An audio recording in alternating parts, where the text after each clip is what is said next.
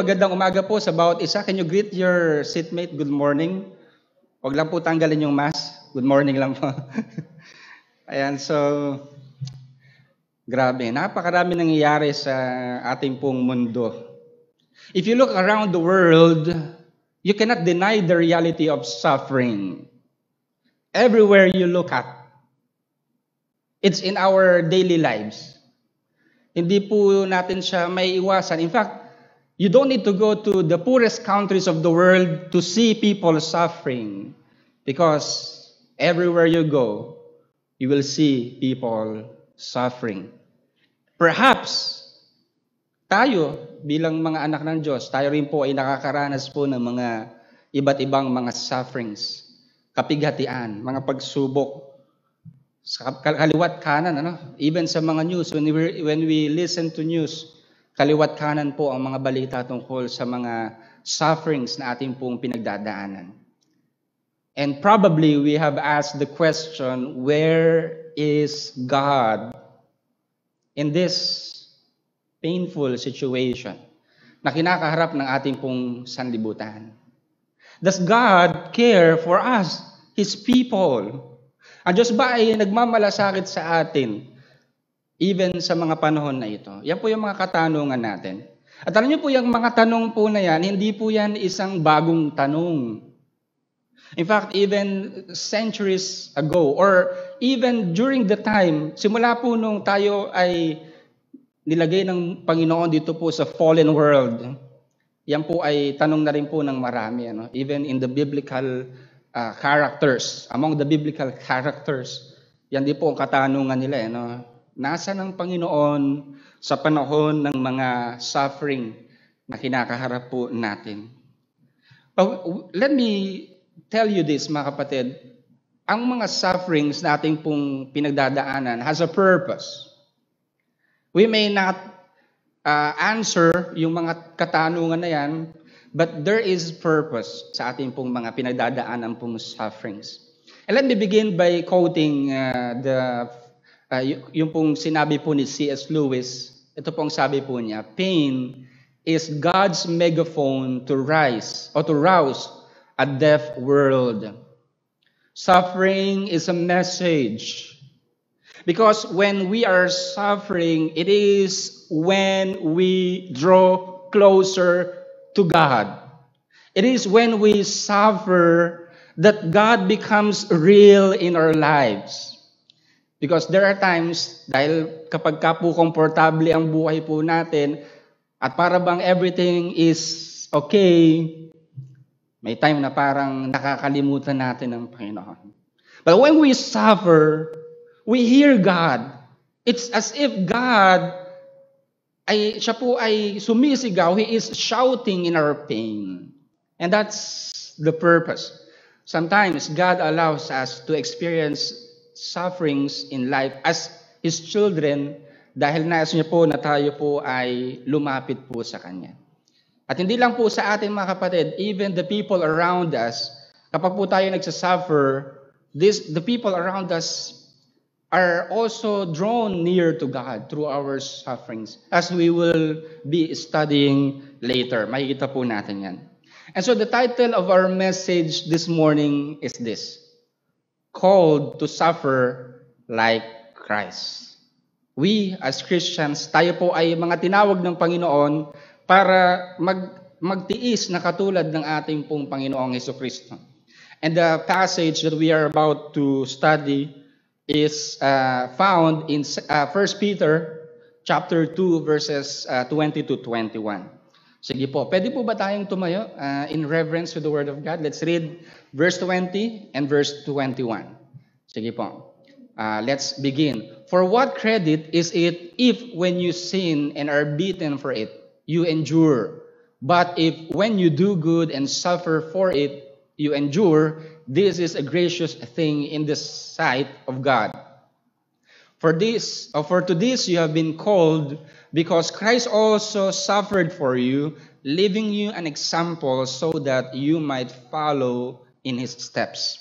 We may now be seated. Sige po. Balikan lang natin po yung passage. Ano? It's very clear from this passage. Merong command ano, sa atin, Jesus set an example and also He gives the command na tayo po ay maging uh, magkaroon ng attitude na katulad ng ating Panginoong Kristo even in our sufferings.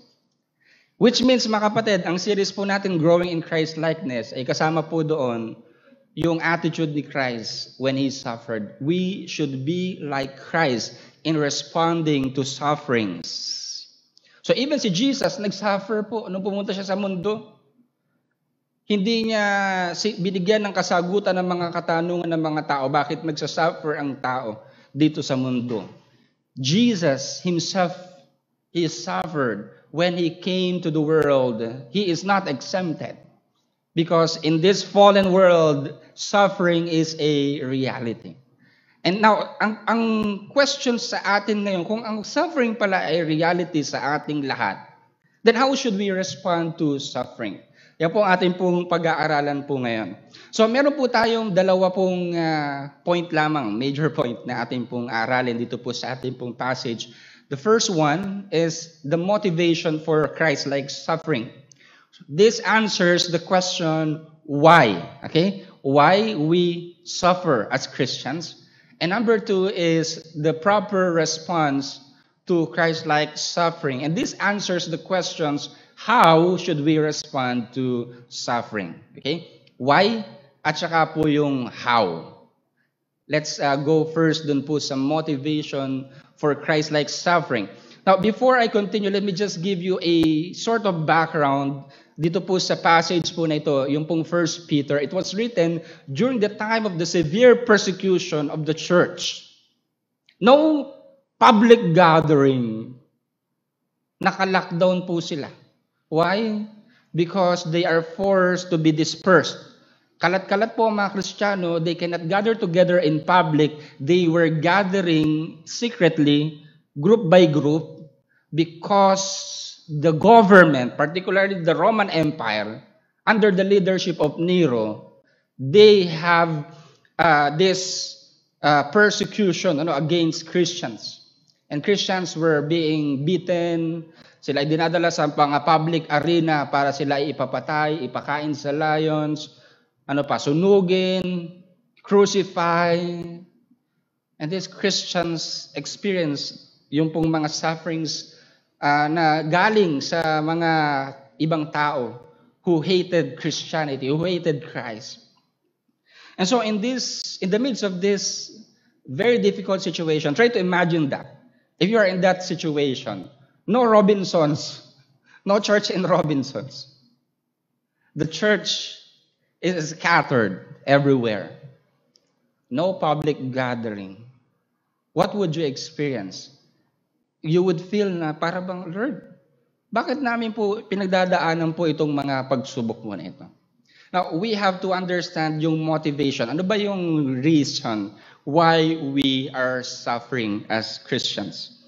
Number one, the first reason is this. It is pleasing to God when we endure suffering pleasing. It is pleasing to God. Let me read verse 20, uh, yung B.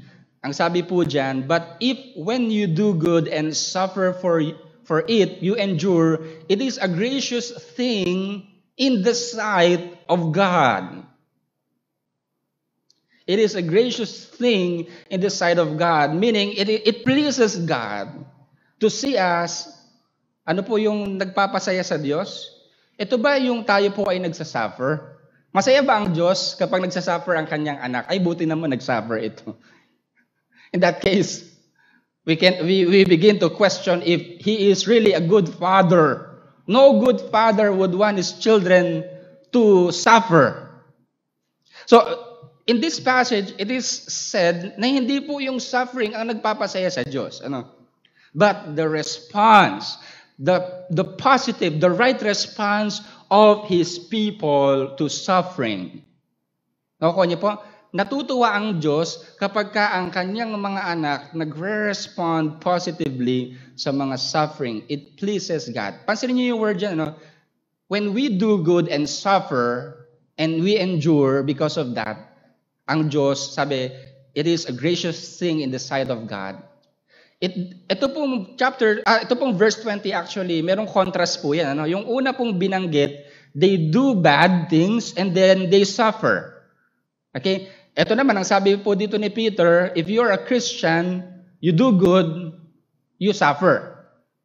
Nakita niyo po yung contrast. Yung isa, do, doing bad, suffer. Yung isa naman, doing good, nagsasuffer din. Ano? And what is encouraged sa atin bilang mga Kristiyano? Ano daw ang dapat nating gawin? The latter one. Ano? We need to do good and suffer. And that's ironic, mga kapatid, because when we do good, we are expecting good things to happen in return. Tama ba? Ang expectation natin, ginawa na nga namin yung mabuti. Ay dapat naman maganda ang mangyari sa amin. At kapag ka opposite yung nangyari, what do we feel? This is so unfair. We give that uh, word, ano, Lord, this is so unjust. This is so unfair. Binigay ko na yung lahat ng magagawa kong kabutihan, pero ganito pa ang aking naranasan. But for Paul, uh, for Peter, sabi niya, if you suffer and uh, if you do good and suffer and you endure, this is a gracious thing in the sight of God. So which means mga kapatid, na ang suffering po ay o yung response, proper response po natin sa suffering ay nakapagbibigay kaluguran sa ating Panginoon. Alam niyo po kung bakit? Because God is being magnified. God becomes noticeable in our lives. When in our sufferings, we, we develop the character of endurance. Nakukuha niyo po mga kapatid, ang Diyos ay nakikita sa ating pong mga buhay when we endure sufferings. In fact, people who are doing bad sa, sa mga tao, na mga Kristiyano who are doing good, kapag nakita nila na ang response sa mga Kristiyano ay mabuti, kahit pa sila po ay andun yung yung pang-aapi uh, sa kanila bilang mga Kristiyano, maybe these people are thinking. In fact, during the time of the persecution, marami po ang na-convert sa Christianity because of the conviction of these people that God becomes real in their lives. That even if they die, they have the confidence, kill us. But you cannot kill our souls.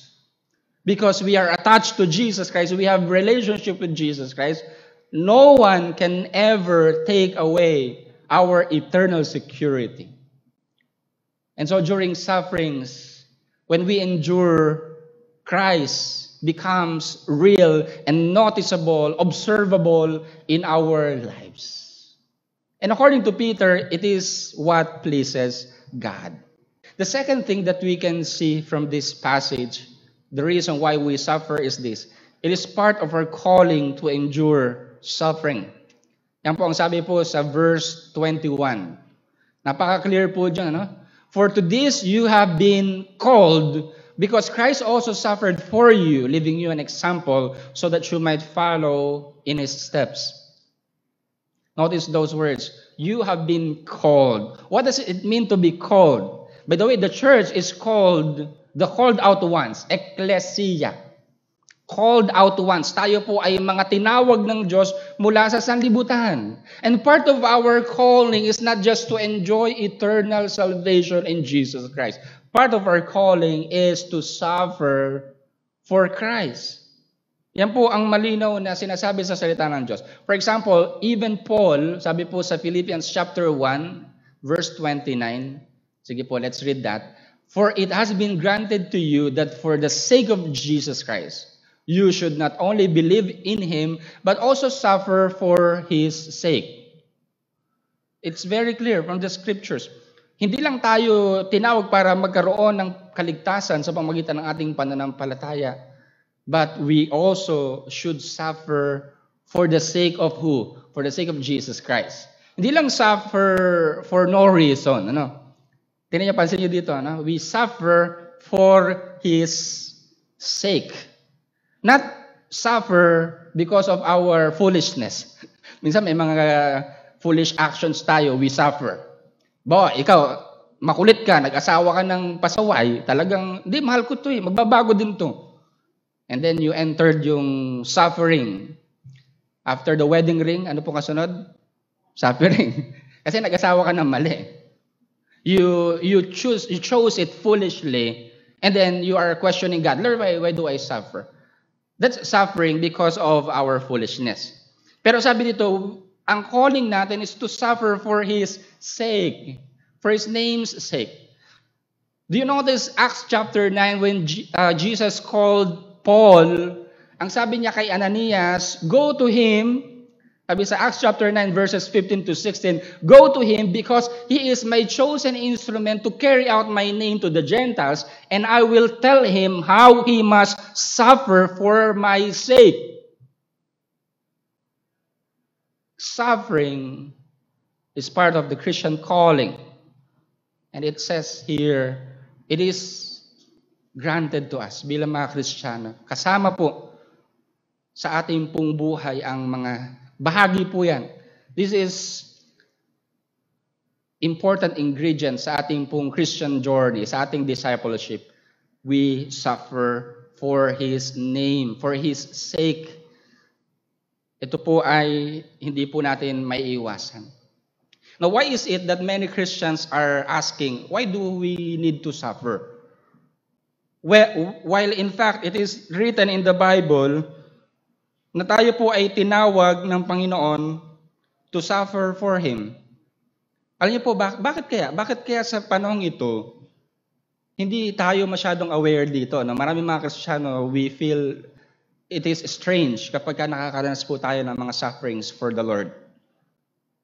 Because of what? Nung nagbago po ang 'di ba nung sa sa present world po natin ngayon, ibang-iba po ano ang idea patungkol po sa suffering. We don't want to talk about it. As much as possible, we try to avoid it. Yan po ang nangyayari po sa kasalukuyan. In fact, I have talked to a professor who is claiming to be a Christian. And during our one-on-one conversation, he told me very exactly ito po ang pagkakasabi niya po sa akin. Ang gusto lang naman ng Diyos para sa lahat ng kanyang mga anak ay maging komportable ang kanilang buhay. Ang sarap ano? Sarap pakinggan. ang gusto ng Diyos sa kanyang mga anak, maging komportable ang kanilang buhay. And during that time, I was thinking, is it comfortable yung buhay ng mga anak ng Diyos during the time of the early church? Hindi comfortable eh. Andito sila sa Laguna. They will for, be forced to go to Batangas or Quezon, the nearby provinces. They are scattered in the foreign lands because of their faith in the Lord Jesus Christ. Hindi po nila maiwasan ang mga iba't ibang sufferings. And so if we will see Christianity It's very different yung pong Christianity in the time of Jesus, after Jesus, the early church. Because for them, suffering is part of their Christian life. It's, it's a calling. That is real, mga kapatid. Even sa atin ngayon, mga kapatid, we need to have the clear understanding that we are also called to suffer for the Lord Jesus Christ. And if that is our calling, mga kapatid, how do we respond to it? Ano po ang dapat nating maging salobin? When we say calling, it talks about our Christian vocation.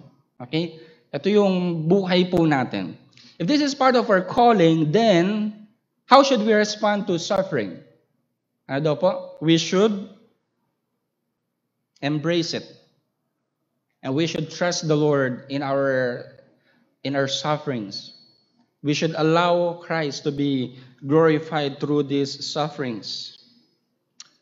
Calling, mga kapatid, is very crucial. Because when we suffer, we look back to our calling. That's what I learned from one of my mentors during my ordination. he told me this. Are you sure God called you? And syempre, dedepend mo naman. Tinawag talaga ako ng Panginoon. And he said to me, the reason why I'm asking you is this.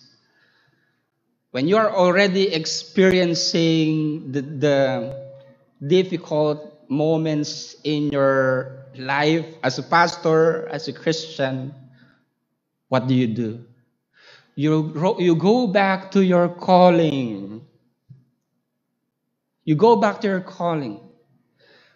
When things in life get worse, bilang mga Kristiyano, we go back to our calling. We are called to be in fellowship with the Lord Jesus Christ. And if the world hated Jesus, then we will be hated by the world also. So it's part of our calling, according to the passage that we just read. And number three, another reason, sige po, basahin po natin. It is the pattern that Christ left for us. Tatlong pipo yan, ano? It is pleasing to God, it is part of our calling, and it is the pattern that Christ left for us. Iniwanan pong halimbawa ng Panginoon sa atin. So si Jesus po ang modelo po natin, ano, kung paano natin harapin po ang mga suffering. Uh, let's read yung pong uh, verse 21. For this, for to this you have been called because Christ also suffered for you, leaving you an example that you should follow in His steps. Yung word po dyan na ginamit ay living you, an example, meaning, parang merong, merong ano, no? Nung tayo po ay, naranasan nyo po mag-work sa mga fast food, ano? Meron po yung standard operating procedure. May example na ipa-follow mo yan. So si Jesus, meron siyang binigay na example po sa atin in facing suffering. So this is the pattern of Christ. When he suffered, he did not question God. He did not uh, rebuke God for doing so, but andun yung kanyang pagtitiwala sa Panginoon. He entrusted his life sa Panginoon. And pasin niyo yung word na follow in His steps. Di ba tayo po itinawag to follow Jesus? Tama ba? Follow Him. At hindi lang natin siya susundan dun sa mga lugar na komportable. When we follow Christ, it is also a journey to a very difficult life a life with so much sufferings. And so suffering is an inevitable part of our Christian journey, our discipleship. Because discipleship is costly. It involves suffering because we follow Christ's steps. Ang sabi po sa chapter 4 ng 1 Peter, sige po, let me read that. Bago siya magtapos sa chapter 5, sabi niya sa chapter 4, Inulit niya ano, yung kanyang sinabi. Since therefore Christ suffered in the flesh, arm yourselves with the same way of thinking. For whoever has suffered in the flesh has caused or has ceased from sin. Binanggit po dito, Christ suffered. And so, we also need to imitate or to have the same mind of the Lord Jesus Christ, the same way of thinking. Kinakailangan po ay maunawaan natin, maging handa tayo sa pagsubok. And this is so encouraging for people who were suffering during the time of the Apostle Peter. Tama ba? Para sa kanila, si Kristo nag-suffer.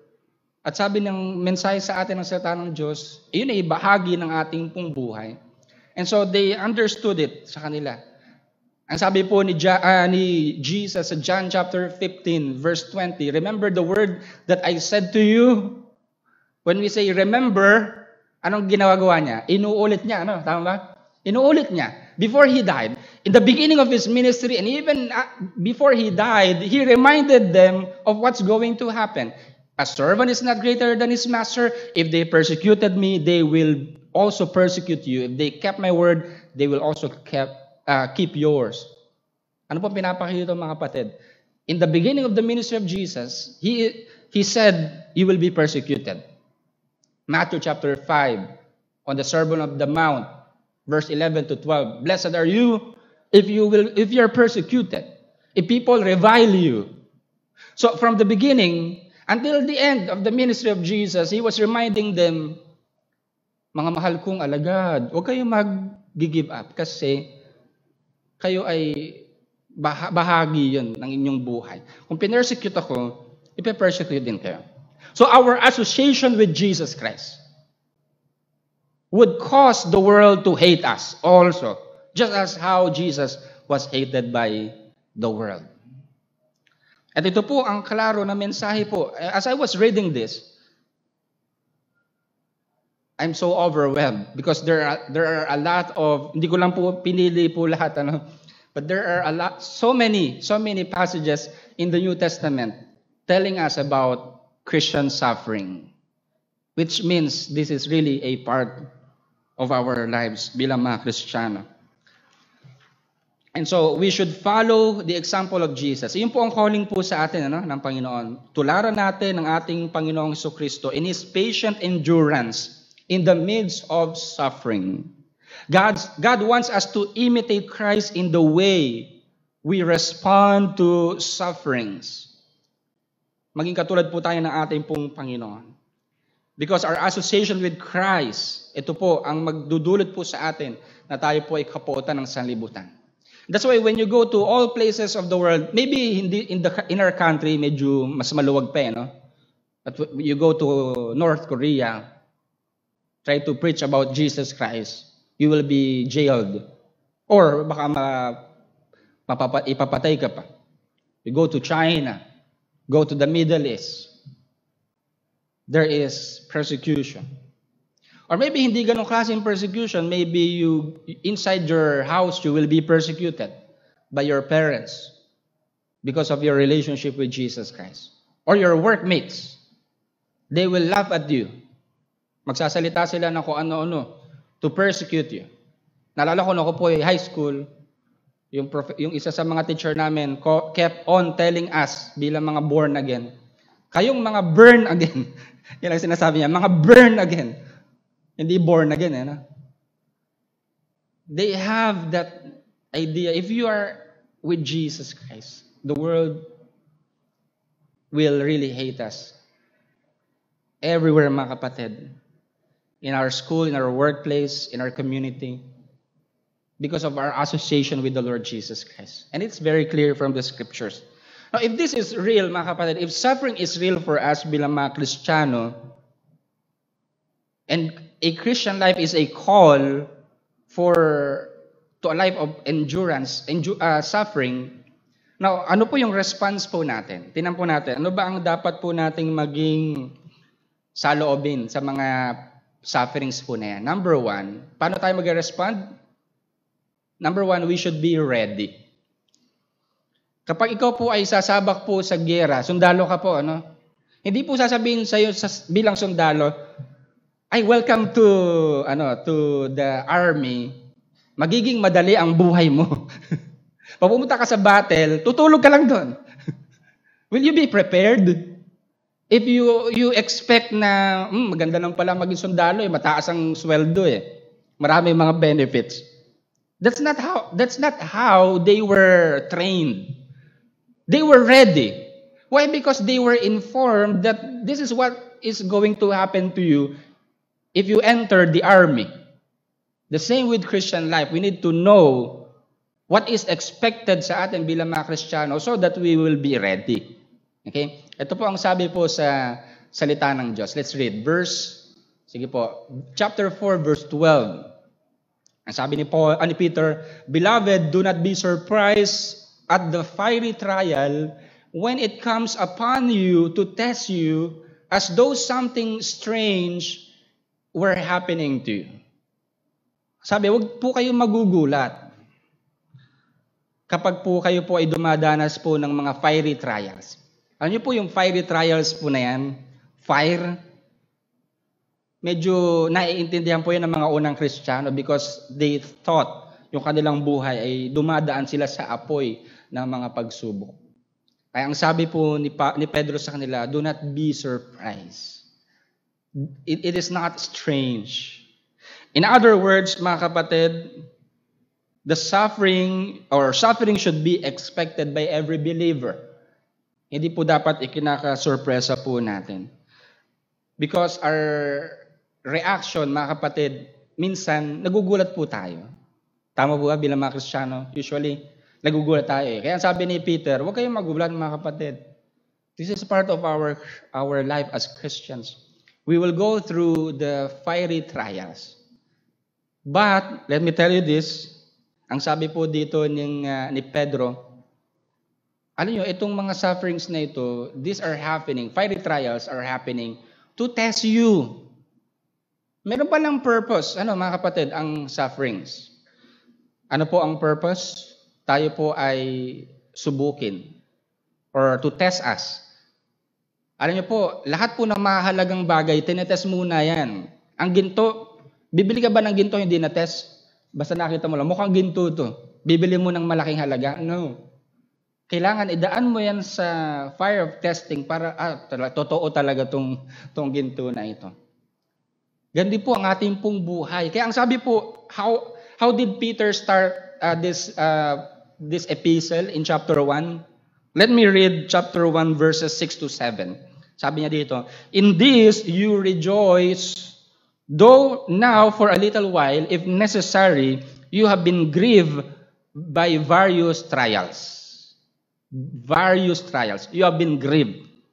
So that the tested genuineness of your faith, more precious than gold that perishes, though it is tested by fire, may be found to result in praise and glory and honor at the revelation of Jesus Christ.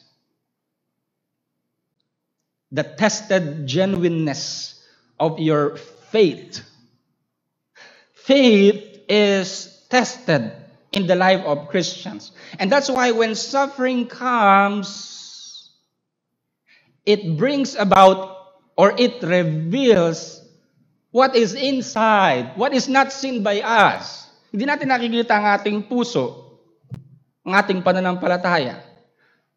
But when suffering comes, it is when we see what is inside. If it is authentic or fake, kapag may mga pagsubok. Kaya po pinapadaan tayo ng Panginoon sa mga pagsubok para makita kung talagang tayo po ay totoo. Makita natin ang nasa loob natin, ang ating pananampalataya, the tested genuineness of faith. It's very clear from the scriptures, hindi po ako nagsalita nito. Sinabi ni Apostol Pedro, ang pananampalataya, kung totoo, kung genuine, it will be tested. And we need to, to understand that, mga kapatid. And so, mga kapatid, it gives us this principle. Suffering is necessary. Tama po ba? Suffering is necessary for us. Hindi naman ang Lord ang kailangan makaalam kung totoo ba ang pananampalatayang ito. Because God knows already. He knows it. But who has to know? Sino ang kailangan makaalam nito? Tayo, na mga mananampalataya na sumusunod sa ating Panginoong Kristo, we have to know if we are real in our sufferings, when we encounter various trials, is my faith genuine? That's what the scripture is, ask, is telling us, mga kapatid. And that's why, mga kapatid, we need to trust in the Lord in every situation, among suffering, because it is necessary, mga kapatid. There is beauty in suffering. Hindi yung suffering itself, but the result of suffering in our lives. What we become after suffering and what is revealed during suffering. It is very, very necessary. It is very crucial in our Christian life. So yun po yung una, we, we should be ready. Handa po tayo. But number two, ito, nung tininan ko to, ako po yung medyo nagtaka. We need to be glad. Why? Ba't tayo dapat maging masaya daw o matuwa? Kapag tayo ay nagsasuffer. Sabi po sa uh, next verse natin. Chapter 4, verse 13 to 14. Right after verse 12, ano? Di ba, binasa natin kanina yung verse 12, be ready, do not be surprised at the fiery trials. Sabi niya sa verse 13, but rejoice in so far as you share Christ's sufferings, that you also may rejoice and be glad when His glory is revealed. If you are insulted for the name of Christ, you are blessed because the Spirit of glory of, and of God rests upon you. Be glad. Rejoice and be glad. Paulit, dalawang beses binanggit po yung rejoice, ano? And be glad. Bakit po tayo nagre-rejoice? It is, is it because of suffering? Ay, salamat naman at nagsasuffer ako, ang saya-saya ko. Hindi po doon ang, ang dahilan kung bakit po tayo nagsasaya. But why do we, do we rejoice? Because we share in Christ's suffering. We participate. We have the fellowship with Jesus Christ when we suffer. Kaya ang sabi ni Pablo o ni Pedro, rejoice. At ang sabi niya, you are blessed. If people insult you, iniinsulto ka, burn again. Do not be sad because you are not defeated. Even if they will say negative words about you, hindi po defeated ang Christianity. We will remain victorious as followers of Jesus Christ. And so we need to rejoice.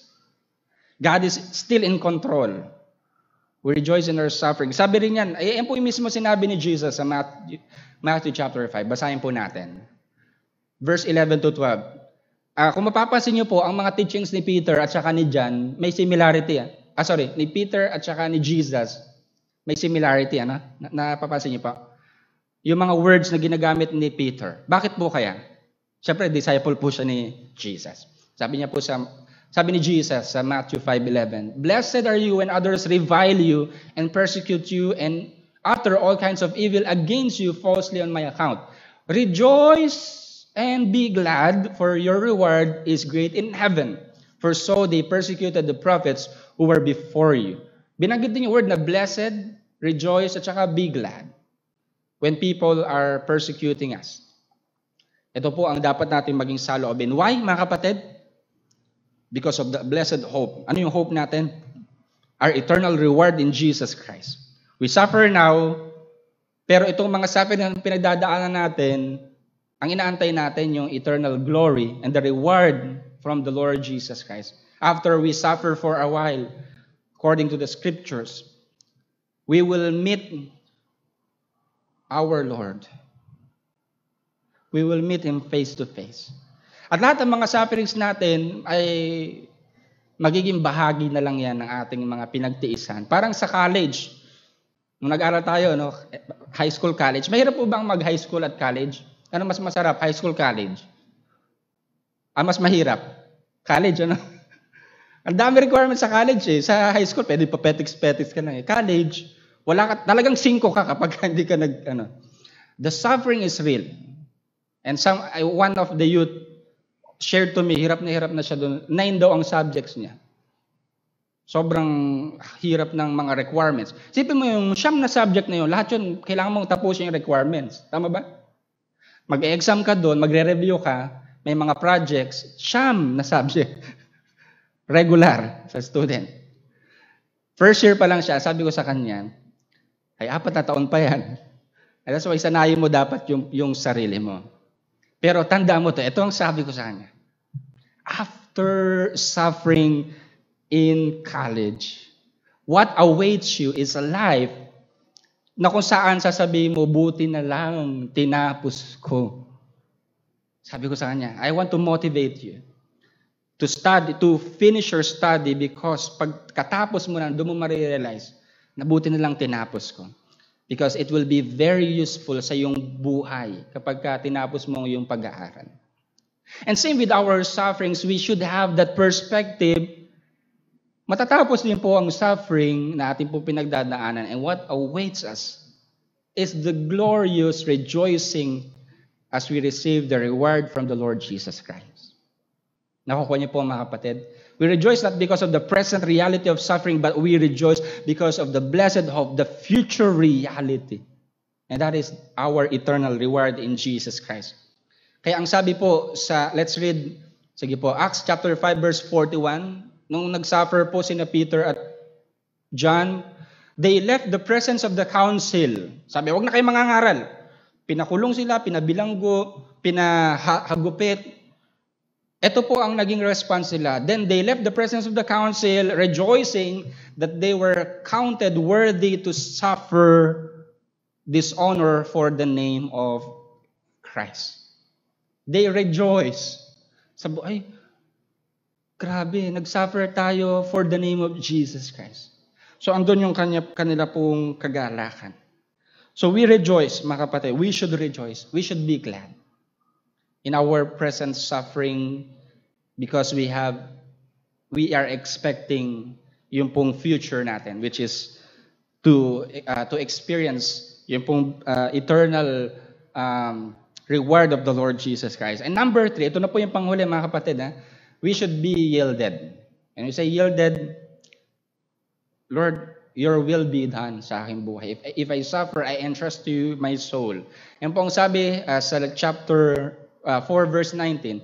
Therefore, let those who suffer according to God's will, inulit yun no? those who suffer according to God's will, entrust their souls to a faithful Creator while doing good.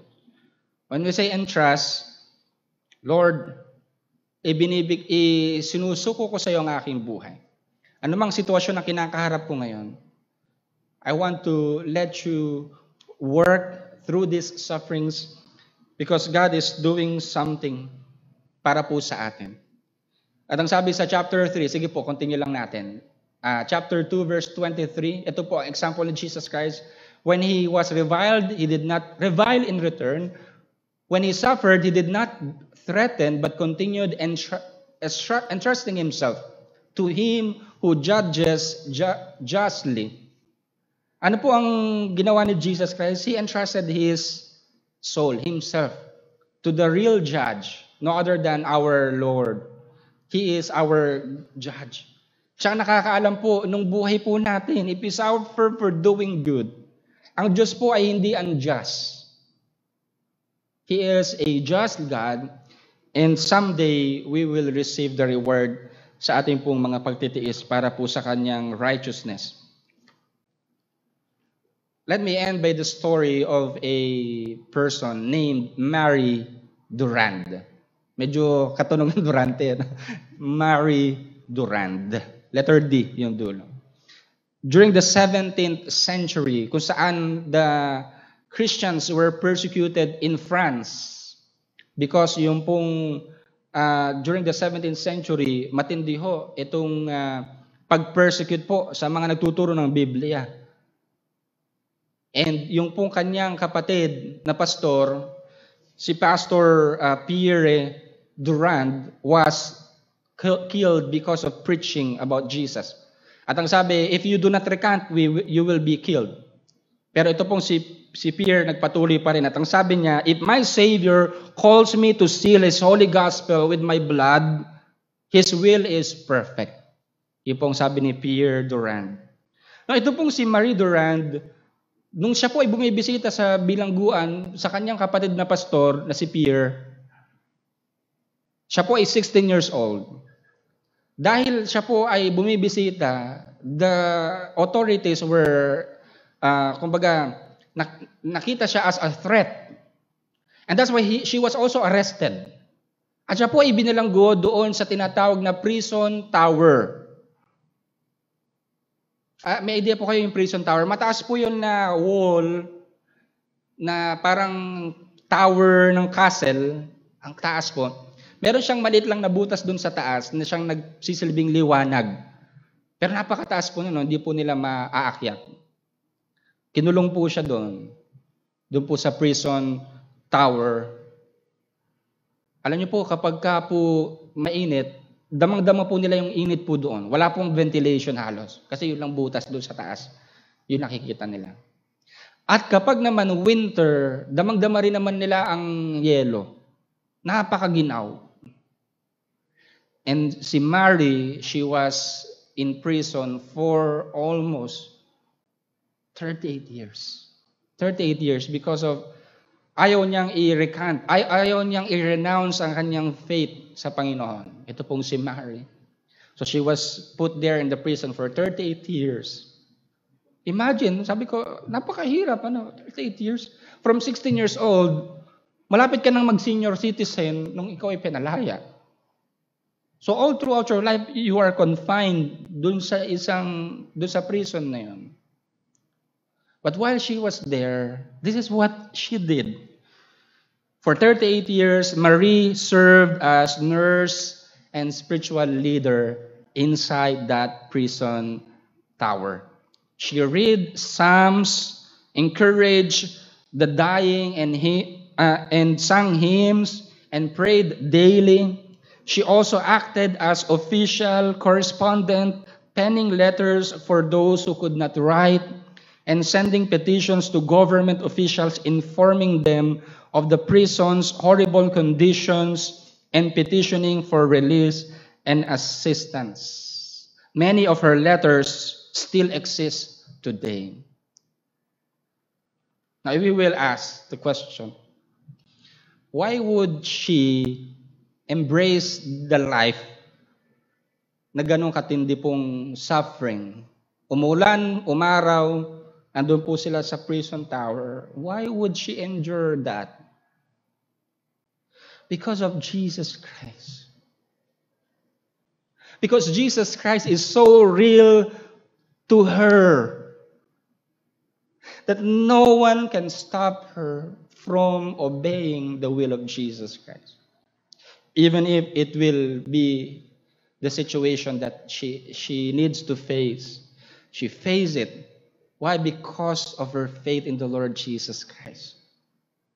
And so, what did she do when this, this happened? She simply honored the Lord sa kanyang buhay. Sinunod niya ang kalooban ng Panginoon. In fact, let me read our last verse. Sige po. Let me just read that. But even if you should suffer for righteousness' sake, you will be blessed. Have no fear of them, nor be troubled, but in your hearts honor Christ the Lord as holy. In your hearts. Do not be afraid. Do not be troubled. Ang sabi po sa salita ng Diyos, honor Christ. We have two responses, possible responses when we suffer. It's either we question God or curse God. Why are you doing this to me?